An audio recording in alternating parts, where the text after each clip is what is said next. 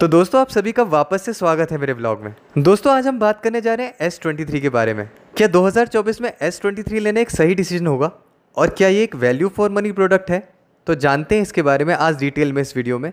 मेरी रिक्वेस्ट रहेगी, दोस्तों, आप इस वीडियो को अंत तक ज़रूर देखिएगा। तो दोस्तों एस ट्वेंटी थ्री एक कॉम्पैक्ट साइज़ का काफ़ी प्रीमियम और पावरफुल फ़ोन है, जो कि स्नैपड्रैगन 8 जेन 2 प्रोसेसर के साथ आता है, जिसे सैमसंग द्वारा ओवर क्लॉक किया गया यानी कि ये नॉर्मल 8 जेन 2 प्रोसेसर से भी ज़्यादा तेज़ है। जिस वजह से इसकी परफॉर्मेंस काफ़ी स्मूथ और फास्ट है। और वहीं अगर दोस्तों इसके डिस्प्ले की बात की जाए तो वहीं ये फ़ोन 6.1 इंच के डायनेमिक एमोलेट 2x डिस्प्ले के साथ आता है।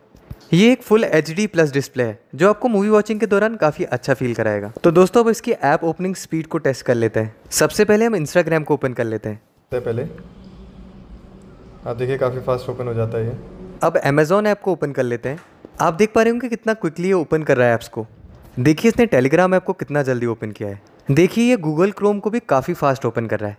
इसका प्रोसेसर काफ़ी फास्ट है। जो आपको मल्टीटास्किंग और वीडियो एडिटिंग जैसे कामों में काफ़ी हेल्पफुल रहेगा। ये डिस्प्ले एमोलेड होने के साथ साथ 120 ट्वेंटी के रिफ्रेश रेट पे भी वर्क करता है तो आपको स्क्रॉलिंग के समय ये काफ़ी स्मूथ फील होगा। अब चलिए इसके कैमरे के बारे में बात कर लेते हैं। इसमें आपको फ्लैश लाइट के साथ तीन कैमरा मॉड्यूल देखने को मिल जाएँगे, जिसमें से इसका प्राइमरी कैमरा 50 मेगापिक्सल का है। ये एक वाइड कैमरा लेंस है, जिसका अपर्चर 1.8 है, और साथ ही आपको इसमें 12 मेगापिक्सल का अल्ट्रा वाइड कैमरा और 10 मेगापिक्सल का टेलीफोटो कैमरा देखने को मिल जाएगा। तो चलिए अब कैमरा फीचर्स की बात कर लेते हैं। कैमरा ओपन करते ही आपको इसमें काफ़ी सारे मोड्स देखने को मिल जाएँगे। मोर पर क्लिक करने पर आपको और भी सारे मोड्स देखने को मिल जाएँगे। इसमें आपको एक डायरेक्टर व्यू का ऑप्शन शो होगा जिससे आप एक ही टाइम पे फ्रंट और बैक दोनों कैमरों को यूज़ कर सकते हैं। साइड का भी रिकॉर्डिंग कर पा रहा है एक साथ साइमल्टेनियसली दोस्तों ये कुछ इंडोर और आउटडोर कैमरा सैंपल्स है और इनसे आप अंदाज़ा लगा सकते हैं कि इसका कैमरा कितना अच्छा है। तो फ्रेंड्स अब आपको मैं इसकी लो लाइट परफॉर्मेंस भी दिखा देता हूँ शो कर देता हूँ। ये देखिए अभी अंधेरा है काफ़ी ज़्यादा। आपको विजिबल भी कुछ नहीं हो पा रहा होगा। मैं इसमें फ़ोटो क्लिक करके आपको दिखाता हूँ। देखिए। देखिए, इसका लो लाइट परफॉर्मेंस भी काफ़ी अच्छा है। ये देख पा रहे होंगे जैसे कि आप। दोस्तों, कुछ ये लो लाइट सैंपल्स मैंने आपके साथ शेयर किए हैं। आप इससे आइडिया लगा सकते हैं कि इसका लो लाइट परफॉर्मेंस भी काफ़ी अच्छा है। अब बात कर लेते हैं इसके डिस्प्ले के बारे में। Full H D plus dynamic AMOLED two display होने के साथ ही इसमें आपको इन बिल्ट फिंगरप्रिंट सेंसर देखने को मिल जाएगा। ये एक अल्ट्रासोनिक फिंगरप्रिंट सेंसर है, जो कि काफ़ी फास्ट है। इसके डिस्प्ले की डेंसिटी 425 ppi है, जो आपके मूवी वॉचिंग एक्सपीरियंस को काफ़ी ज़्यादा अच्छा कर देता है।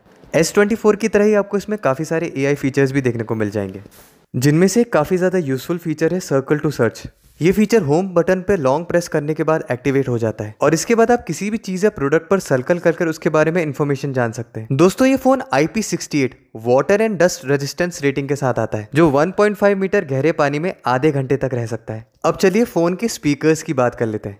इस फ़ोन में आपको दो स्पीकर प्रोवाइड किए जा रहे हैं, जिनमें से एक स्पीकर इसके डिस्प्ले के अंडर है और दूसरा स्पीकर इसके बॉटम साइड में लोकेटेड है, जिनकी साउंड क्वालिटी फ्लैगशिप लेवल की है। आइडिया के लिए आप इस सैंपल को सुन लीजिए।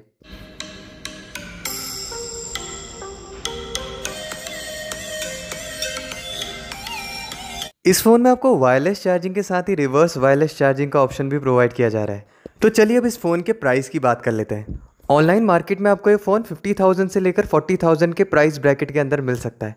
दोस्तों अमेजोन और फ्लिपकार्ट में आपको ये फ़ोन पचास हज़ार से भी कम प्राइस में बड़े ही आसानी से मिल सकता है। और क्रेडिट कार्ड ऑफर्स और डिस्काउंट लगाने के बाद आपको ये और भी कम प्राइस में मिल सकता है। ये फ़ोन दो वेरियंट्स के साथ आता है।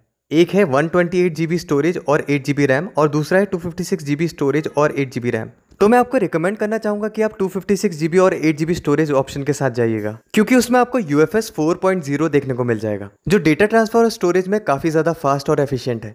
तो दोस्तों, मैं उम्मीद करता हूँ कि ये वीडियो आपके लिए हेल्पफुल रही होगी और आप डिसाइड कर पाए होंगे कि क्या 2024 में S23 आपके लिए एक बेटर चॉइस है। तो दोस्तों, ऐसे ही और वीडियोस देखने के लिए प्लीज़ मेरे चैनल को लाइक शेयर और सब्सक्राइब करें।